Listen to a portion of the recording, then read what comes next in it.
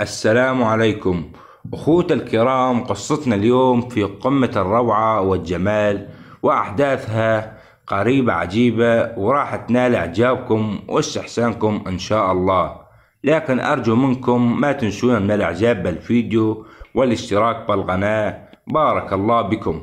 اليوم قصتنا بدولة الأردن الشقيقة. كان بيزلمه اسمه أبو خالد. هذا أبو خالد رجل متزوج وعنده بنية ولكن بواحد من ولد عمه ارتكب جريمة بشخص يعني وقتله. ولكن هذا الشخص اللي انقتل كان من قبيلة معروفة بدولة الأردن.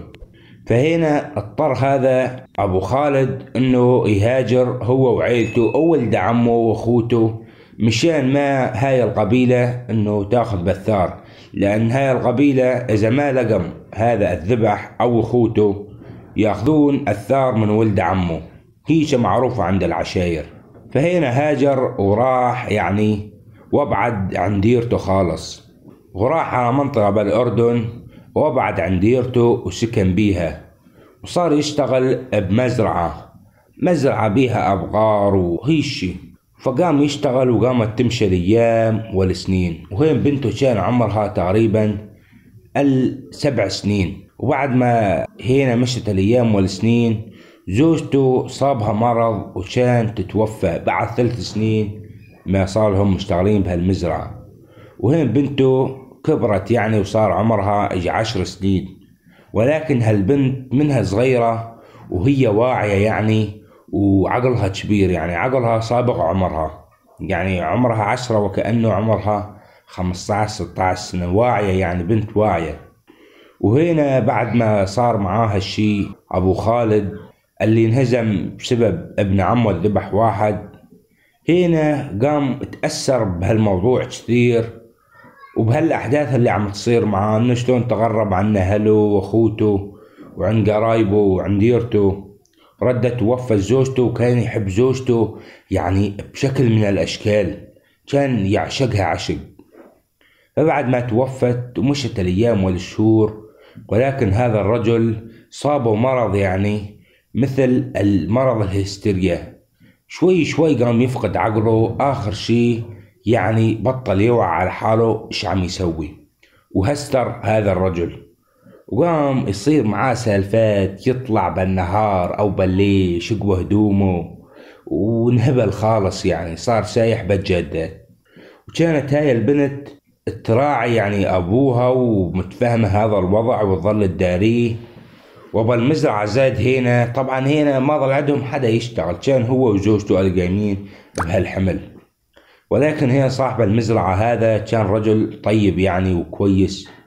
ولحق إنه شلون توفى زوجته وهو تقريبا فقد عقله. ما ظلت غير هالبنت. فهنا ما بطلهم يعني وقالهم أنا بطلتم تلزموني. كان يجيب عمال وقام يشتغلون بهالمزرعة. ووصل عمال إنهم يديرون بالهم عليه يعني لأن هو ما ظل عنده لا شغل ولا شيء. والبنت لسه ما عمرها عشر سنين قلنا. وقامت هنا اللي قدام تطورت معاه الحكاية قام يطلع أو يريد يضرب حاله بسكين أو بشي. فقامت تربطه بالحبال مشان ما يطلع. وهنا ما ظل عندها قانون لا بالنوم لا بالليل ولا بالنهار. يعني قيمت من أبوها سكت يعني ونام هرجد تلاقيه حطت راسها يا حرام هالبنت وتنام من التعب يعني ودومها مساهرته بالليل يبكي ويصيح. وتحط له الأشلي كبه على حاله وزهدت عمرها هالبنت من منها صغيرة في يوم من الأيام يعني والوقت تقريبا صاير مع المغرب وكان أبوها نايم وهي نايمة ويعني ونايمه بهدوم النوم يعني ما هو إنه متحجبة أو شيء تريد ترتاح شوي. ولا أبوها يصحى من النوم وجايته نوبة الهستيريا بالحيل وقام يفك الحبال قدر يفك الحبال ويقوم. ووقت قام كانت تحس عليه وقامت تركض وراه بهالجادة. وقامت تركض بهالجادة ولا تشوف رجل تعرفه هي يعني عمره يجي خمسة وخمسين سنة واسمه أبو محمد.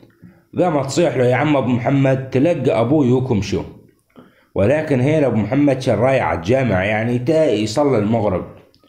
ولكن وقت شاف هاي البنت يعني ومبينة مفاتنها يعني ومي طالعة بلابة حجاب وشعرها مفلل. فهنا سلهم عليها وبطل يعرف يعني إيش بده يسوي. على مفاتنها المبينة شعرها يعني ودينها وتعرفون أنتم مفاتن النسوان وبهذا الوقت أخوتي بلغت هاي البنت وصار عمرها 15 سنة. فهنا تبلها ترد صحيح على حاله وهي البنية تقول له ولا يا عم مش عم تستنى؟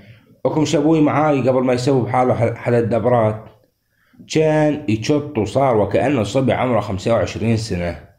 كان يطير طيران وركض ركض وغضب هذا الرجل أبو خالد بعد ما هي انهستر قلنا لكم وغضبوا وشتفوا وجابوا على البيت وردوا مربطوه وقال انت شلون عايشة الحاز وشلون يعني هيك انت مين يصرف عليك؟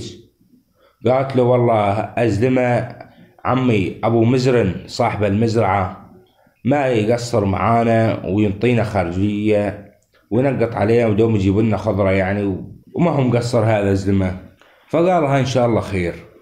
كان يقضب ويروح على البيت هذا أول شغلة راح كمل صلاته صلاة المغرب اللي هنا شبه النساهة الحجي. آه، نفسه خضرة لسه الحجي. ولا راح صلى المغرب ورجع على البيت وراح على بيت أخته. طبعا هذا الرجل أخوتي اللي قلنا لكم عنه أبو محمد هذا أبو محمد رجل يبلغ من العمر 55 عام من أهالي هاي القرية اللي يسكنون بها أبو خالد وبنته. وكان عنده مال يعني ومزارع وعنده حظيرة اغنام وابقار يعني الله منطيه. وعنده زاد هو متزوج وزوجته عمرها يجي خمسين سنة. كبيرة بالعمر يعني مهرهرة نفس ما نقول. وكانت الشايب نفسه خضرة. وعنده ولاد عنده ثلاث ولاد. الكبير ما بيهم اسمه محمد. والأصغر منه كان اسمه مشعل. والأصغر كل شي كان اسمه خلف. هذولا الولاد الثلاث وكان بي عنده بنية اسمها المزيونة هيج اسمها المزيونة يعني كان ملبقي هذا اللبق والاسم على شدة جمالها كانت. وكان يروح هذا أبو محمد أزلمة كبير على أخته. وقالها يا أختي هيك هيك السالفة. كنت رايح على الصلاة ولا أشوف هالبنية؟ والبنية بنت أبو خالد هذا المجنون عندنا بالضيعة طبعا الضيعة كلها يعني والقرية تعرفوا هذا زلمة مجنون يعني أبو خالد إنجن. فقالها بنت المجنون أبو خالد هاي اليوم شفتها ولكن طلعت جميلة يعني كنت أشوفها قبل ولكن مو بهالجمال مو بينت مفاتنها انفتن بيها. فهين قالت له يعني إيش بدك يعني منها؟ البنية أنا عارفها مجنون ولكن هي ما تهتم بحالها يعني عندها جمال ومي مهتمة بحالها. إذا تهتم بحالها تصير جميلة من الجميلات. فهنا أخوها هذا محمد قالها بدش تخطبي لي إياها. صلي على النبي يا أخوي أنت جدمة شبير ما يلوق لك هالشي يعني. عندك ولاد عندك حرمة. قالها يا أختي أريدش أنت تروحي تخطبيها وأنت منتي خسرانة شي لسه يعني شباب وقام يمدح بحاله. كان تقول له تكرم عينك وكان ثاني نهار تروح وراحت على بنية وقالت لها القصة واحد اثنين ثلاث. أخوي يخطب للزواج على سنة الله ورسوله. وبهذا الوقت أخوتي بلغت هاي البنت وصار عمرها 15 سنة. فهنا البنية ردت عليها وقالت لها إنه اني ماني مفكر بالزواج واني عم مرعى أبوي. ما ظل حدا بهالدنيا غير أبوي. ودي أظل ارعاه مين بده يرعاني إذا بدي أتزوج وجوني تعرفين يعني انت قالت لاخته لابو محمد.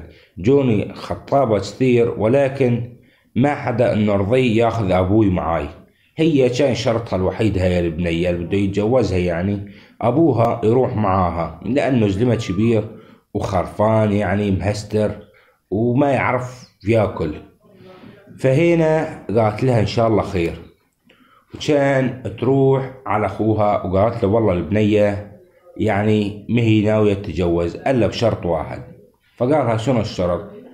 قالت له والله شرطها إنه أبوها يكون معاها غير هيش ما بيعدها. فقال زهاب طلبها عادي أنا ابني لها بيت وابني غرفة لأبوها مقابل بيتنا.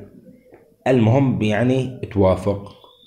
كان تروح حين ثاني نهار أخته لابو محمد وراحت وقالت لها البنت أبو خالد إنه هيك هيش السالفة أخوي يبني لك بيت ويبني غرفة لأبوك قدام البيت السكنين بيه ويهتم بيه ويعالجه إذا يتعالج ويجيب له يعني يهتم بأكله وبشربه. وأنت يعني اللي بدك تهتمين؟ ولكن سامحلش بهالشي. فهنا تقولها والله ما زال هيش الحكي ويهتم بأبوي يعني وما يقصر علينا. أنا موافقة أتزوجه. وشان بالفعل هنا يروح وجاب من قرايبه كم مزلمة. وخطبوا له إياها هاي البنت ووافقت واتجوزها مع سنة الله ورسوله. في عنده هو حواش يعني وبس بنى غرفة مقابل هالبيت تيسكن بيها أبوها. وهنا قعدم وبعد نهارين ثلاث هنا الشايب أبو محمد زهزه وقام يمشي ومعدل ظهره ويفكر حاله ارجع شباب بعد هالجيزة. واللي يقول له عمو قام يزعل منه يقول له أنا مالي عمو أنا إيه شباب يعني؟ أي شبشب بعد ما يتجوز هالبنت. فتية نفس ما يقولون هو زوجته هذيش يعني عمرها خمسين خمسة وخمسين تقريبا. فهنا وصل الخبر طبعا يعني وعرف زوجته هذيش ولكن ما جته على بيته هذا.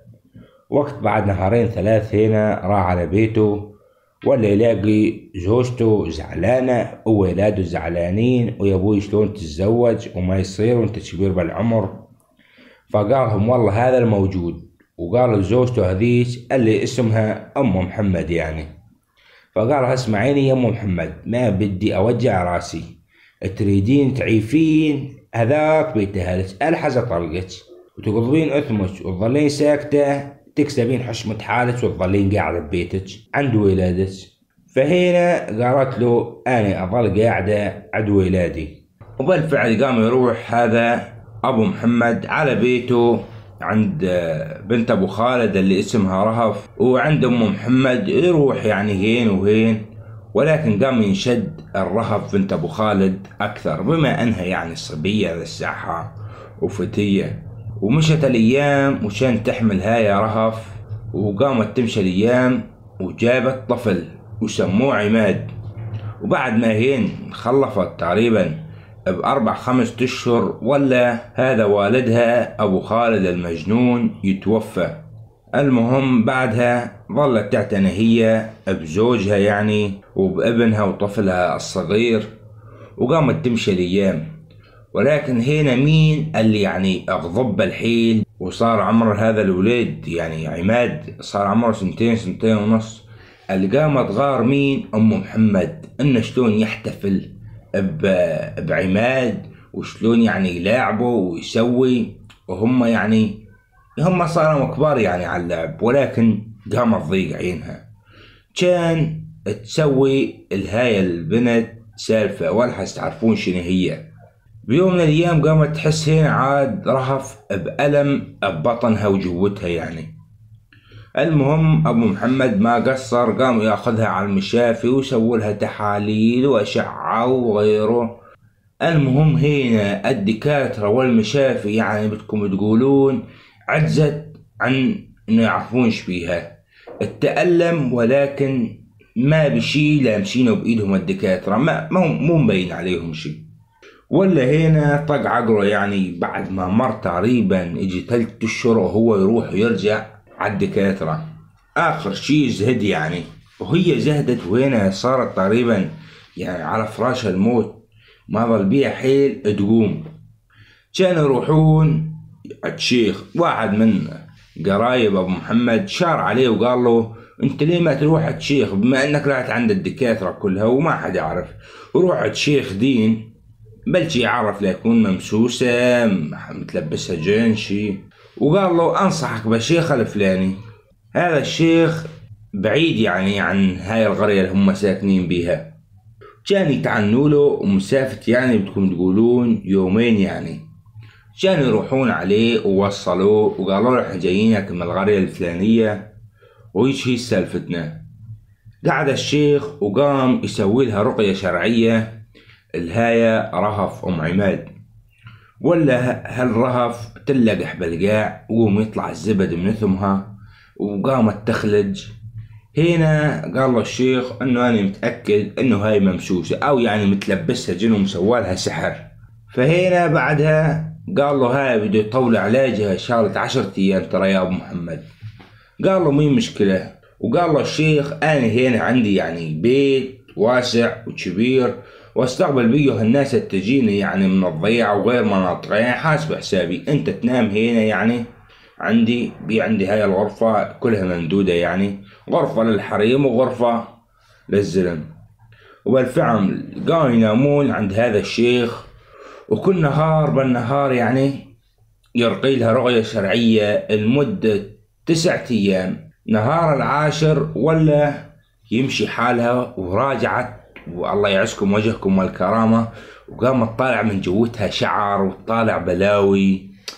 وهنا يعني قام يتعجب من هالشي أبو محمد هالشي اللي عم يطلع من جوة مرته. ولا بعدها تلقح يعني وغابت عنا الوعي. شغلة خمس ست ساعات ما بين بعدها صحت. ولا تصحي هنا وإنه ما بيها شي خالص. ولا تتألم ولا شي وقال له والله يا شيخ اريد أعرف يعني مين هالسوى؟ هالسحر يعني وهالبلاء المرتي. فقال له والله هذا السحر يعني هذا سحر قوي وما يصير إلا مشان يخرب عضو يعني من أعضاء البني آدم. الله أعلم الصيعد مرتك. ولكن يعني هالشي المساوى لمرتك متقصد عضو. تروح على المشفى وتفحص زوجتك وبعدها تجيني إن شاء الله نهتدي على طرف خيط. وهين بعد ما راح مع المشفى وفحصوها ولا يطلع معاها ورم ببيت الرحم. وهنا الدكاترة قالوا له لازم نستأصل هذا الورم يعني والرحم بشكل عام مشان ما تتوفى هاي زوجتك. فهنا انجبر يعني على هالعملية وسوم العملية. وشالوا لها استأصلوا لها بيت الرحم. بس انشال مستحيل هاي الامرأة تحمل. كان هين بعد ما خلص من العملية كان يرد على الشيخ اللي يعني بنفس المنطقة يعتبر يعني بنفس المحافظة. وقال له والله يا شيخ هي شي صار معنا رحنا على المشفى وقالوا لي عندها ورم يعني بيت الرحم. فهنا الشيخ قال له أصبح هل مسوي العمل يعني مستقصد بيت الرحم وإنها ما تحمل. وقال له يعني بمين تشك يا شيخنا؟ يعني أنت ما تعرف. قال له حرام إني أظلم حدا. ولكن دير بالك من زوجتك الثانية الكبيرة. لأن هنا طبعا أبو محمد قال له يعني إنه هيش هيش يعني متزوج وكذا. فقال له دير بالك من زوجتك الكبيرة يعني يجوز ما أعرف فيا وما بدي أظلم حدا. فهنا راح أبو محمد على البيت. وأول ما وصلهم البيت وقالوا لهم والله الحمد لله يعني شفيت وطلع عندها المرض الثاني ما قال لهم سحر أول شي وراح على بيته عند أم محمد. وقال لها يا أم محمد أريد تحطي لي حلة مي حلة وتفورينها. فقالت له يا ابو محمد يعني حلة مشان شنو؟ فقالها والله أريد اشرب الغنم. فقالت له الشروب ما ينحط بمية فايرة. فقال أنا سألته قالوا لي يصير. فراحت وقالت لا حول ولا قوة ركبوا له حلة مي. وقامت ظلت توز بيها بالنار وقالها بدي إياها تقوم تفور. وقت قامت تفور قالت له يا ابو محمد تعال شوف المي فارت مع حاجته ولا يجي وقف فوق المي وشافها عم تفور كان يقمش أم محمد ويشيلها حطها فوق المي وقالها لا تغرين وتسولفين شو مسوية بزوجته الثانية أم عماد أو احطك بهالمية الفايرة وخليك يعني تنعلقين وتنصلخين وتموتين. وتعرف هي زمتها أبو محمد يعني صحيح كان كبير بالعمر ولكن يقولوا يفعل وبيه حيل يعني. وقت شافت المي شلون عم تفور هنا يعني يدب بقلبها الخوف والرعب وقالت له أسولف لك يا أبو محمد بس بعدني عن هالمي لأن المي هنا عم تبربد جدا وجهها قربها عليها. قالت له ولكن هنا نزلها على الطرف وقالت له ولكن تنطيها الأمان إنك ما تذبحني. قالها عليش الأمان إنه ما اذبحك فقالت له والله أني وقت شفتك هيك يعني تلهلف على ابنك هذاك كثير هنا يعني أنا زعلت وأخطأت يعني بهالسالفة ورحت سويت سحر لزوجتك. أنه ما تحمل شي ما ترد تجيب لك النوب ولد فقالها يا خبيثة كان يرد عليها النوب وطلقها. حلف عليها بالطلاق. وقالها يعني طلقها وقالها روحي بحال سبيلك ما تلزميني أنت. مرة تسوي سحورة أنا ما تلزمني. فهنا جم ولاده لا يا أبو محمد لا يا أبونا. ليش طلقتها ما يصير؟ قالهم أمكم تسوي سحر واللي تسوي سحر حرام تنحوى بالبيت. كان هنا يعني قالوا له طب يا يابا طلقته عيفها معانا بهالبيت الكبير اللي كنا ملتمين بيه يعني. وتظل عنا كنا يعني إحنا كنا بهالبيت الأخوة. مثل ما قلنا لكم أبو محمد و... ومشعل و... وخلف. وكلهم هذول الشباب متجوزين. فقالوا له يعني عيفة عنا فقال لهم كيفكم؟ تريدون تعيفونا عندكم؟ عيفوها ممنعكم. وقامت تمشي الأيام هنا وبعد فترة من الزمن هنا عماد كبر شوي يعني وفايت بالمدرسة وعم يدرس ومجتهد. ولا بيوم من الأيام يمرض هذا أبو محمد ولا يتوفى. فهين ولاده زعلم عليه وأم عماد زعلت وكل الضيعة زعلت لأنه هذا أبو محمد كان زلمة كويس. وفهمان يفهم بالدين وتغي يعني. وسووا له هالعزا وثلاث أيام وبعدها يعني كل من راح بحال سبيله. وبعد تقريبا شهر هنا خلصت المونة من عند أم عماد. يعني وما ظل عندها شي تاكله لأن هو كان يجيب هالأغراض أبو محمد. فراحت عند بيته الثاني وشافت ابن محمد. وقالت له يا محمد إحنا ما ظل عنا مصاري يعني وأبوك عاف مال وهو كان يجيب لي يعني الأغراض. بدي شوي من المصاري تنطوني حق من الورثة مشان أعيش أنا وابني. فقالها والله وين هو؟ طبعا طلع بالصورة الحسنة والكويس والنشمي والينتخي. قالها والله يا مرت أبوي يا أم عماد إحنا الورثة ما راح نقسمها. يعني ما راح نفكك الورثة وبدنا نظل أنا وأخوتي وأنت معانا بهالأراضي والمزارع كلها. ولكن أنا راح أخصص لك مبلغ يعني يكفيك يعني بهالشهر يعني تقريبا خمسطعش ألف دينار آه، أردني. فقالت له موافقاني وهنا قامت تمشي الأيام وقام تاخذ هالراتب يعني قال لي تقريبا يعني أدوبه يكفيها ولكن ما كانت من هالنوع. النقاغ هاي رهف أم عماد. وقالت الحمد لله أنهم يعني عم ينطوني من هالمال اللي عايشة منه يعني. وبعد سنة هين طبعا بهالسنة هذول بيت أبو محمد خربم الدنيا. قام يطلعون إشاعة على هاي أم عماد إنه هذا الوليد عماد مو أخوهم وإنه هذا ابن المجنون ابن أبوها يعني إنه هو يعني ابن حرام. وهين بهالسنة القرية كلها انطبلت بيها وكانوا يشتغلون من جو لجو بالمحاكم وغيرها ويزبطون وضعهم. كانوا مناوين يعني على شغلة أكبر من هالسالفة الخبيثة والإشاعة طالعوها على عماد وبعد سنتين كان يرفعون قضية يرفعون قضية على هاي زوجة أبوهم السابقة أم عماد إنه هي خاينة أبوهم. فوقت راحت على المحكمة وقالوا له هذا الطفل عماد مو ابن أبو محمد. فقامت تحلف وتقول لهم إنه أني تزوجته وبعد ما تزوجته صار عندي هذا الطفل. فقالوا لها يعني إنه هذا الكلام مو مزبوط وكانوا مزبطين وضعهم هذولا بيت أبو محمد ومحمد بالذات هذا الأفعى الكبيره اللي يسوي حاله كويس ولكن هو لا كويس ولا شيء. طلع مزبط من القاضي يعني لل... بالمحكمة للطبيب الشرعي لل... للمخبرة بده يسوي التحاليل. تعرفون بتحاليل يعني بهي السالفات وكله كانوا مزبطينه وآخر شي طالع هذا عماد إنه مو أخوهم. ووقت بينوه مو أخوهم كانوا يقيمون انه بدعوة إنه هاي زوجة أبوهم خانت أبوهم وما يطلع لها من الميراث. وهذا سووه مو أخوهم زاد عماد. يعني هيك أم عماد وعماد بطل يطلع لهم ولا دينار أردني من الورثة. وبعد ما كسبهم هاي القضايا يعني اثنين كانوا يروحون ويقسمون الورثة عليهم الأربعة. يعني على الشباب الثلاث واختهم المسجونة وأمهم. وبعدها كل من راح بحال سبيله والقام يشتغل والقام يسوي وهنا أم عماد بطل يجيها وغرقها يعني من برا. فهنا انجبرت إنها تروح على أبو المزرعة اللي كانت تشتغل هي ووالدها عنده.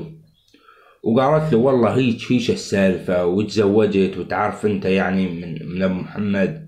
ولكن آخر شي طالع عليها الشريعة وهنا القرية كلها يعني قامت تسمع بهالشائعة الميزينة وصارت سمعتهم ميزينة هاي. أم عماد. ولا هذا أزلمة صاحب المزرعة يقولها أهلا وسهلا بيش في المزرعة؟ يعني وتردين تشتغلين بيها؟ وهنا طبعا ابنها اللي استعتب المدرسة. ابنها عماد يقولها خليني أبطل من المدرسة. وعين يمه بهالشغل وهي تقول له لا ما راح أخليك تبطل. تا تدرس يعني وتوصل دراسات عليا. وكانت تحلم بيه يعني إنه يصير هي شغلة كبيرة بنها عماد. وبالفعل ظلت هي تشتغل وتكيد وتصرف عليه وعليها يعني كمصروف ومصروف مدرسة وبعدها كبر وفاتت جامعة وتخرج يعني وفات يعني على كلية الحقوق بالجامعة وآخر شيء تخرج منها قدم على النيابة. طبعا بالنيابة أخوتي هذول ما يقبلون إلا أول ثلاث على الكلية. يعني الأول والثاني والثالث على الكلية هذول اللي ينقبلوا على النيابة مو حي الله. وهو كان هذا عماد الأول على الكلية يعني. كان مجتهد بشكل من الأشكال وكان ذكي يعني. قدم على النيابة وقبلوه واستلم هالمنصب يعني بالنيابة وبعد شهر شهرين وركز أموره ومشي حاله وقام يقبض هالراتب الزين. وهنا كان يقول ألحس تفضيت تا اطالع حقي وحق أمي أم أخوتي هذولا اللي كلم حقنا وطالعم علينا سالفة شينا كان يرفع هي قضية بعدها سنين هاي كلها ترى كان يرفع قضية إثبات نسب. وقام يستدعونهم هذولا لمحمد والمشعل والخلف والمزيونة. ولكن ما كان موجود بدولة الأردن يعني غير محمد ومشعل. هذاك خلف كان طالع برات الأردن وأخته متزوجة المهم حضرم هذولا وقام يحققون بالموضوع وقاموا يجيبون الشهود هاي. عماد قام يجيب الشهود من الجرية إنه تشهد إنه بعد ما أمه تزوجت أبو محمد وانه خلفت هذا الوليد وبعدها إنه شالت الرحم. يعني والجرية كلها خبرت بهالشي. المهم ظل وراها وقدامها لهالقضية طبعا بالقانون ما تلاعب شي بالقانون عماد. وحصل حقه آخر شي وقضى القاضي إنه يتغرمون بغرامة مالية كبيرة يعني هم هذول الأخوة لأنهم طالعوا هاي السمعة السيئة على أخوهم. ويطلع له يعني نص الورثة يعني كل واحد قد خذه يطلع له نص المال الخذاه. هيك حكم له القاضي. فهذا محمد قلنا لكم كان ذكي وخبيث يعني كان يشتغل بالتجارة وفاتح يعني محلات ضخمة وكان ينطي هالغرامة يعني والمال وظل عنده يعني سيارة وبيت ومصنع كان مشتغل ومكثر المال بهالسنين. ولكن أخوه مشعل عكسه كان سكرجي يدور يعني على نسوان وما نسوان وكزهونات إنه صار في المصاري مو ضل عنده غير قطعة هالبيت الساكن بيه. كان هنا ياخذون من محمد نص أملاكه يعني وانطوها لأخوه عماد. وهنا هذا مشعل ما عنده غير هالبيت كان يحجونه وانطوه العماد. ووقتهم المزيونة أنه أنه رجها ماخذ منها حصتها ولعبان بيها قمار زاد ومبعزقها. النوب حطم عليهم غرامة مالية ولازم بظرف سنة هاي البنت المسجونة توفي أخوها هالمصاري. ودزم طلب استدعى الخلف اللي هو برات يعني كان رايح على المملكة العربية السعودية ويعمل هناك يعني. دزوا له برقية أنه لازم تحضر هاي المحكمة ولكن هذا كان ذكي زاد وما جاء على المحكمة.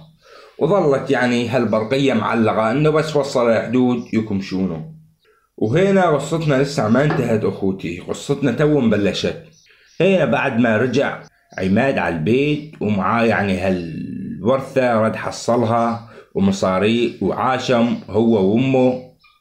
وتزوج هين زاد وجا وليد وبنية. ولا السالفة ما تروح لها تقريبا أقل من سنة ولا هذا محمد أخوه الكبير على أساس كان طالع هو وعيلته على متنزه بجبل ونزل على حدها الدكاكين والبقاليات كيشتري يعني شوية مكسرات وعصير وغيره وكانت زوجته وولاده وبناته كلهم بالسيارة. كان صف السيارة يعني على حرف منحدر جبل. ولا هذا ابنه اللي اسمه فيصل يدق مرشد هاي السيارة. وتمشي كان معبالها غيار يعني وقت دق مرش السيارة أقلعت ومشت. ما بين طلع من الدكان هذا الوقالية وركب على السيارة كانت متدهورة السيارة وراحت قدام عيونه. تدعبل على حرف الوادي ووقعت جوا. وكانت تفجر منها الوقود اللي بيها يعني واحترقت قدام عيونه وعيلته كلها موجودة بيها. هنا بطل يقدر يتمالك حاله وكان يفز عصبه وهستر. يعني صار نفس أبو خالد هستر وقام يشق بهدومه بنفس اللحظة. كان هنا طبعا جت الشرطة وخذوه وتعرفهم عليه وودوه لأهله. ومشعل أخوه الأصغر منه زاد كان راح وقام يشتغل بمزرعة تبع أبقار. وقعد يحرس بيها يعني يعني يشتغل بيها ويحرس. وبيوم من الأيام كان عنده سلاح روسية إحنا نسميها سلاح يعني هاي مثل شي كلاشنكوف كانت عنده هاي سلاح وآجس حرامية إنهم جايين. آجس يعني يزور رجل. وقال لك أكيد هذا حرامي. خليني أضرب لي رصاصة بالهواء مشان ينهزم. بالفعل كان يطالع البارودة وضرب يعني حوله على أساس يخوفه. ولا رصاصة تجي بصدر هذا الحرامي ويطب ويموت. ولكن هذا مشعل مو عرفان إنه ذبحه. كأن يفوت هنا وبطل يسمع بعدها حركة وقال لك أكيد الحرامي انهزم. وثاني نهار جاء لياخذ حليب وجاء معلمه ولا يتفاجئون بهاي الجثة الموجودة بالمزرعة. فدقم هين للشرطة وجت الشرطة وألقم القبض على مشعل قالوا له ما بغير أنت يعني بهالمزرعة. فقالهم انه أنا ما قتلت حدا عن عمد. أنا آجست إنه بي حرامية جم. وقلت اضرب لي رصاصة بالهوا مشان يبعدون. وما عرف إني قتلت حدا. المهم هين حكمهم عليه بما إنه هذا حرامي يعني حكمهم عليه بحكم أربع سنين سجن. وحطم عليه غرامة مالية مليون دينار أردني. هاي دية يعني الاهله للحرامي التوفى اللي هو ذبحه. المهم هنا دق على أخوه بالسجن دق على أخوه عماد ويا أخويا أنا حطم علي غرامة وأريدك تفزع لي بمصاري. فقال له أنت ليش أخوي؟ أنا وقت قمتم تطالعون علي الشائع اني أنا مالي ابن أبوي أبو محمد وأنا ابن حرام. ما تذكرني أني أخوك كان يفصل بوجهه. وهنا اذاك خلف ضرب الرأت البلاد والمسجونة على زوجها. أم محمد وقت قامت تشوف هالشي اللي عم يصير مع ولادها من شدة يعني الزعل والبكي قامن عيونها عمن وبطلت تشوف بيهن تقريبا. خالص عمن. وقامت على وجه النساوين. على وجه شناينها يعني زوجات أولادها. وهنا زوجة آه، محمد توفت طبعا قلنا لكم ومحمد هذا جاء وقعد مع عمه وهو مهستر وشق بهدومه وربطوه زين وبعدها هنا بعد ما عمل عيونها بطلت هي تقدر تداري حالها تداري ابنها. وراحت هنا عند زوجة ابنها مشعل. وقعدت تعدها على أساس وكان بعد كم يوم اتغرتشها هي وابنها. وقالت لها مو ناقصنا واحد مهبول وواحد عميان. وصفت بالشارع هاي هي وابنها محمد. الهستر وهي انعمل عيونها. نفهم من سالفتنا هاي العبرة يعني هاي نهاية اللي يظلمون الناس واللي يتبعون السحر يشتغلون شغل ما يرضى الله يعني. هاي هيش تكون نهايتهم. ولا تنسونا من التعليق والإعجاب بالفيديو. ترى هذا يحفزنا يعني ويخلينا مستمرين معاكم. ولكم كل الحب والامتنان. والسلام عليكم ورحمة الله وبركاته.